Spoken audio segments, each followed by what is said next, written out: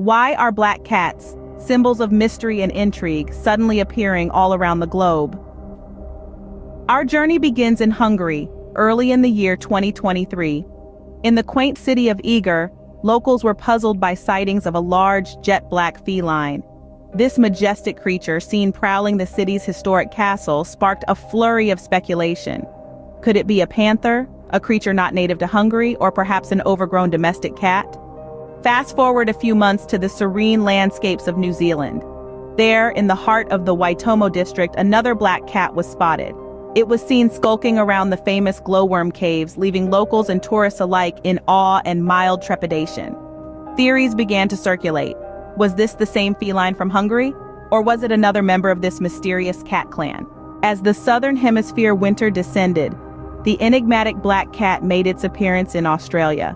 In the bustling city of Melbourne, residents reported sightings of a large black feline in the city's parks and even in some backyards. The sightings sent social media into a frenzy with everyone asking the same question. What was this creature and where had it come from? Finally, the black cat mystery took us to the misty moors of Great Britain. In the county of Cornwall known for its folklore and legends, there came reports of a large black cat lurking in the shadows. This feline, seen around the rugged cliffs and quaint villages of Cornwall, added another layer of mystique to the region's rich tapestry of tales. In summary, these black cat sightings have taken us on a global tour, sparking curiosity and countless theories. Some believe these are panthers, or large domestic cats, while others suggest they could be a yet-to-be-discovered species.